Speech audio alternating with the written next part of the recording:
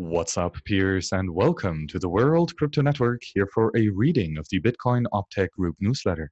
Thank you very much to all the principals and associates, as well as the founding sponsors of this great open source organization. Today, newsletter number 51 on June 19th, 2019. This week's newsletter requests testings on release candidates for both LND and C Lightning, describes using elliptic curve Diffie-Hellman for uncoordinated Lightning Network payments, summarizes a proposal to add information about delays to Lightning Network routing replies, and includes summaries of some interesting talks from the recent Breaking Bitcoin conference in Amsterdam. Also included are our regular sections on Bech32 sending support and notable changes in popular Bitcoin infrastructure projects. Action items.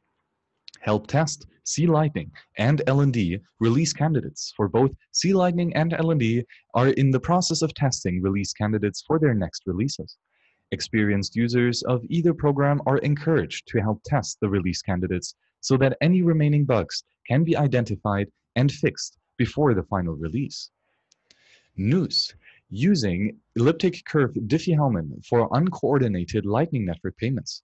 Stefan Snigirev sent two ideas to the Lightning Network development list in a single post.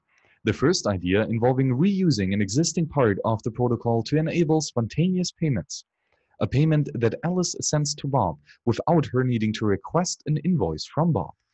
As described in Newsletter 30, they are currently proposed for LND by having Alice select a pre-image, encrypt it to Bob's pubkey, and put it into an otherwise unused part of the Lightning Network routing package when Alice pays the hash of the pre-image.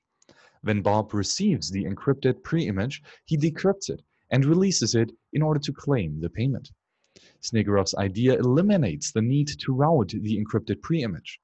He notes that the routing a payment from Alice to Bob already requires them to have a common shared secret, derived using elliptical curve Diffie-Hellman. The secret can be hashed once to produce a unique pre-image known to both of them. And that pre-image can be hashed again to be the payment hash. To use this system, whenever Bob receives a payment to hash that he did not create an invoice for, he simply generates a double hash of the session's shared secret and sees if it matches. If so, he generates the single hash and claims the payment. C Lightning developer Christian Decker has written a proof of concept patch and plugin for C Lightning that implements this.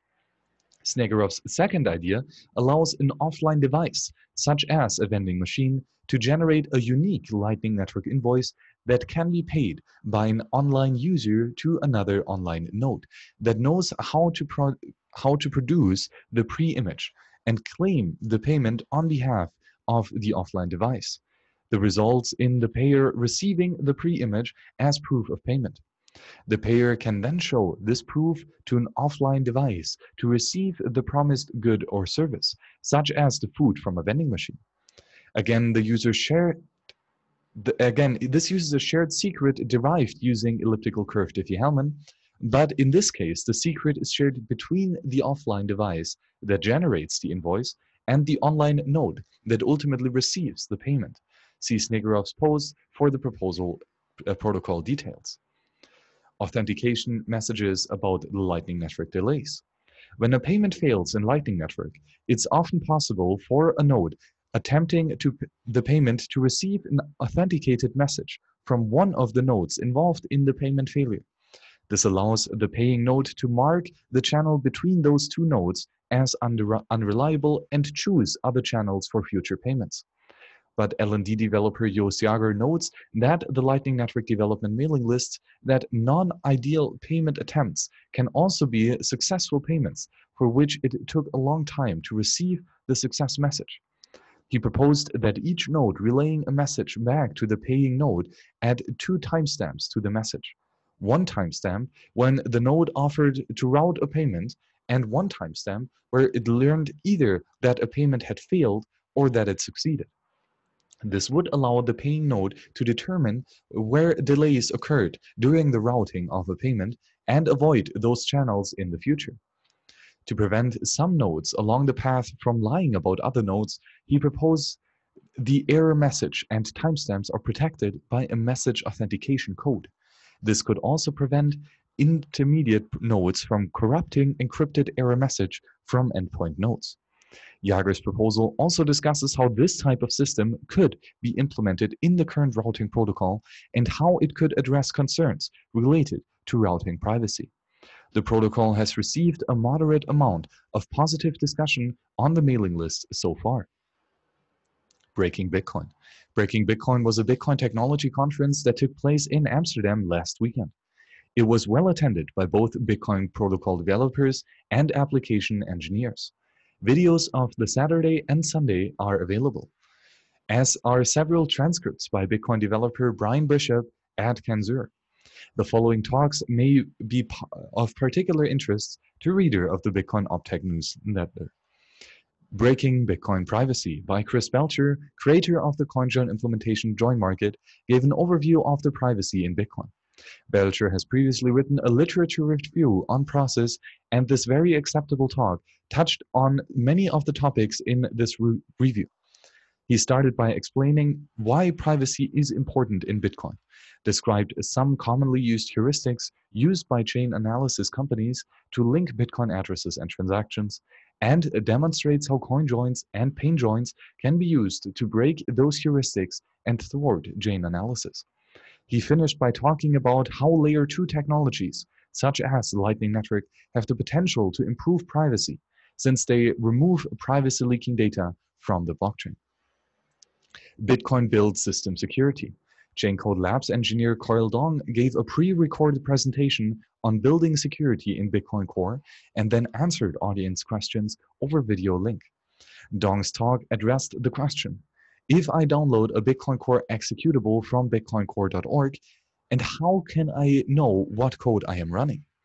The Bitcoin Core project currently uses reproducible Gitian builds to ensure that the build binary corresponds to the source code. But Dong explains that reproducibility is not enough. If the reproducibility build toolchain uses precompiled binaries, then those toolchain binaries could be compromised and used to undetectably insert malicious code into the compiled binary. Dong went on to describe reproducibility and bootstrappable builds, where the number of precompiled binaries used in the toolchain is reduced to a minimum. And then he gave an update on his project to integrate GUIX, pronounced geeks, builds into the Bitcoin core to minimize trust in the build toolchain. Secure protocol on BIP Taproot. Blockstream engineer Jonas Nick gave an update on some of the work he and his colleagues have been doing to build secure protocols using Schnorr signatures and the Taproot constructions. He started by explaining how the proposed BIP Taproot uh, works and the explained some practical considerations when building the protocol using Schnapp, Schnorr, and Taproot external signers that cannot leak private keys through nonce biases, key aggregation and threshold signatures using MuSig, and blind signature aggregation, blind Schnorr signatures. As the Schnorr and Taproot proposal develops and maybe approaches activation, uh, companies that wish to take advantage of the new functionalities offered by this protocol need to consider these pra practical aspects of building secure products and protocols. Extracting seeds from hardware wallets. Ledger Chief Security Officer Charles Guillemet gave an eye-opening talk about the security issues with several hardware wallets on the market. He spoke about previously revealed exploits that he and his team have discovered, as well as new exploits for which he did not give the method in order to protect users. The attacks described use a mixture of physical access side channels, and exploiting insecure cryptography implementations. This was a fascinating talk for anyone working with or using the hardware wallet to protect their Bitcoin. Cryptographic vulnerabilities in threshold wallets. One of the most hotly anticipated aspects of Schnorr signatures is the ability to implement key aggregation and threshold signature schemes. Similar schemes are possible, although much more complex to implement, using the ECDSA signing algorithm, which is currently used in Bitcoin. Zengo co-founder Omer Shlomovits described some of those elliptic curve digital signature algorithm, key aggregation, and threshold signature schemes, and allowed and showed how many of the implementations for those schemes contain bugs due to faulty assumptions when optimizing the algorithm. Bech32 is sending support. Week 14 of 24 in a series about allowing the people you pay to access all of SegWit's multiple benefits. There's a class of multi-sig users who do not save on fees by using Bech32 addresses, but who also receive improved security against a potential type of attack called a hash collision. This class of users include many exchanges and other business users. To provide some background, all combo single sig addresses on Bitcoin today are the result of a pub key being tuned, turned into a 160-bit RIPE-MD hash digest. It is theoretically possible for an attacker to generate a second public key that they control, hash it, and produce the same address. However, if we assume that the hash function produced perfectly unpredictable outputs, then the chance of this happening with a 160-bit hash function like RIPE-MD160 is 1 in 2 to the power of 160 for each pub key the attacker tries. For comparison, Bitcoin miners perform 2 to the 80 power hashing operations roughly every 5 hours as of this writing. The SHA-256d hashing operation miners perform is not the same as used in the RIPE-MD160 collision attack, so their equipment cannot be reproduced for that use. But we can use this as a reference rate for the number of brute force operations a real-world system can perform today at great expense. At that, at that rate, an attacker that performs the 2 to the power of 159 operations necessary to have a 50% chance of success would take about 25 million times the estimated age of the universe so far. However, when multi-sig addresses are being used, the attacker may be one of the parties involved by generating one of the addresses and so may be able to manipulate what address is finally chosen. For example, Bobs sends his pub key to Mallory, expecting that Mallory will send her pub key back. Then he expects that they'll each put that pub key into a multi-sig script template, hash it into an address, and someone will deposit money into that address. Mallory instead takes the script template and Bob's pub key, inserts one of her pub keys without telling Bob about it, and hashes it into an address. This allows her to see the address that Bob will accept before Mallory has committed to using that pub key. Mallory can then compare this address to a database of addresses generated from scripts that pay only her. If there's a match, a collision, between two of the addresses, she sends that pub key back to Bob, waits for money to be deposited into that address, and then uses the script from her database to steal the money. If there's not a match, Mallory can try again with a different pub key over and over until she succeeds, if we assume that she has unlimited time and resources. Although this seems like the same brute force attack described earlier, with a 1 in 2 to the power of 160 chance of a success per attempt. We have to consider the size of Mallory's database. If we imagine a database has 100 addresses, then each different pub key she tries has 100 in 2 to the power of 160 chance of success. Because it succeeds, it matches any one of the addresses in Mallory database.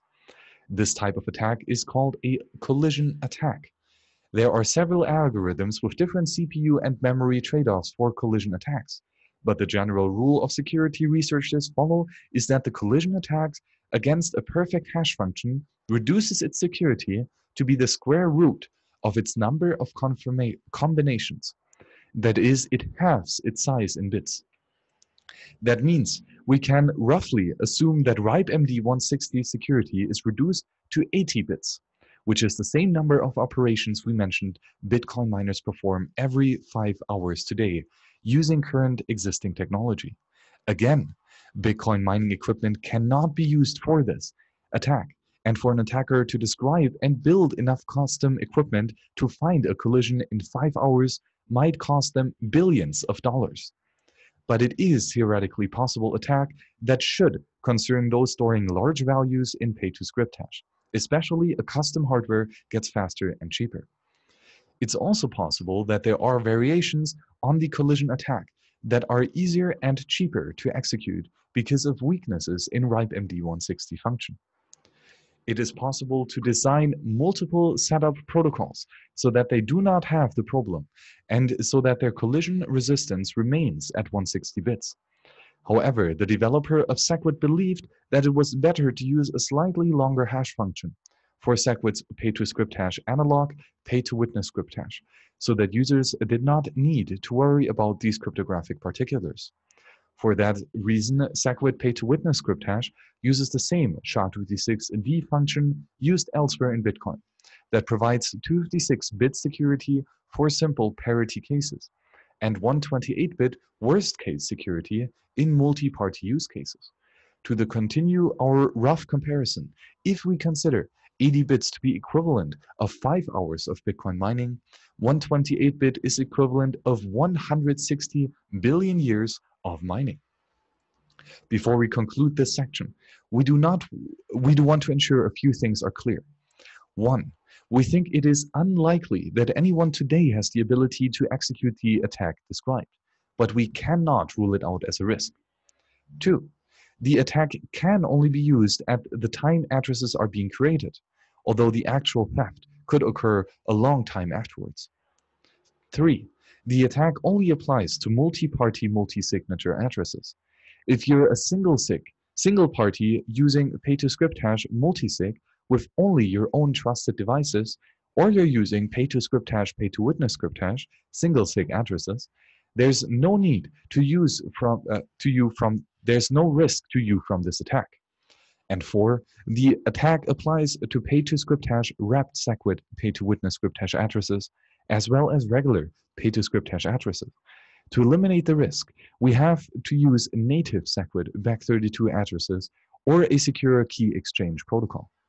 To summarize, users of multi-party multi-sig who want the utmost in security should be migrating to Bech32 pay-to-witness script hash addresses to take advantage of the extra collision resistance. As users make the migration, it will become even more important for services to ensure that they've implemented Bech32 sending support so that they can send payments to those security conscious users. Notable code and documentation changes this week in Bitcoin Core, LND, C Lightning, Eclair, LibSecP, and the Bitcoin improvement proposals. This Bitcoin core change allows the import multi-RPC to derive specific private keys using an output script descriptors, and the, then import the resultant keys. This Bitcoin core change fixes the transaction relay bug introduced in this change, where a node would sometimes stop receiving any new mempool transactions, despite having a good connection to other nodes. See newsletter 43 for details and previous migrations uh, or this change for an excellent description of the bug and initially proposed solution. This LND change adds support for altruistic watchtowers and clients. Watchtowers send breach remedy transactions, justice transactions, on behalf of the clients that are currently offline to ensure that those clients' counterparties cannot steal any money. The ideal watchtower for general deployment is incentivized to do this by receiving modest monetary rewards for sending remedy transactions. But managing these incentives adds complexity. So this initial version of the uh, version of the complete system uses a simple altruistic watchtower that does not receive any rewards via the protocol, but otherwise provides both the client and server components for complete enforcement. You can set up a watchtower for your own channels, or you can use the watchtower or reliable friends. All the configuration parameters necessary are documented in LND's runtime help. Developer Will O'Beirne also has an example tutorial that helps you set up watchtowers, attempt to breach a test channel, and then observe the watchtower protect that channel's funds. This LND change adds support for RBF and child pays for parent a fee bumping when Lightning Network Daemon is sending sweep transactions using one of more of its on-chain UTXOs. This LND change allows users to integrate LND with the Prometheus monitoring solution for collecting statistics and sending alerts. The C Lightning change adds the new RPC that can be used to open a channel using funds from an external wallet. The fund channel start RPC starts opening a new channel with a specific node and returns the Bech32 address that the external wallet should pay using only SegWit inputs with and without broadcasting the transaction. When the transaction has been created, its serialized form can be provided to the fund channel complete RPC to securely finish the channel negotiation and broadcast the transaction. Alternatively, the fund channel RPC fund channel cancel RPC can be called uh, to abort the channel setup before funds are sent. Because most external wallets will broadcast transactions automatically, these options need to be enabled explicitly using a configuration option. But they make it possible for external wallets to better integrate with C Lightning directly. The C Lightning change limits the amount of gossip requested by only requiring gossip from a subset of all nodes peers. This continues to work across all major Lightning Network implementations of trying to reduce the amount of data sent via gossip now that the network has grown to thousands of peers. This C Lightning change extends the fund channel RPC with a new UTXO parameter that allows the user to specify which of the UTXOs from C Lightning's built-in wallet to use to fund a new channel. This C Lightning change adds a new list transactions RPC method that lists all the on-chain transactions created by the program and what they were used for, setup, unilateral close, mutual close, or anti-cheat. Others change other changes in this pull request ensure that all the necessary data to provide the result is stored in the database. And this Eclair change allows Eclair to search through gossiped node announcement to find the IP address of channel peers uh, by their pub key in cases any peer gets disconnected and has its IP address changed. This BIP adds back 30 or this BIP 136 adds Bech32 encoded transaction positions within the blockchain. For example, the position identifier of the first transaction in the chain, the Genesis blocks generation transaction, is TX1, RQQ, QQQ, QMHU, QHQ. The idea was the first proposed to the Bitcoin Core to the Bitcoin Dev mailing list over two years ago with suggested use cases, including identifying which transaction contains information useful to third party applications, such as timestamped decentralized identity references. Peers, you got to subscribe to the Bitcoin Optech newsletter. And again, thank you very much to the founding sponsors, principals, and associates of this great open source organization. Thank you very much for your financial support on the Tallycoin and see you on the next show. Bye bye.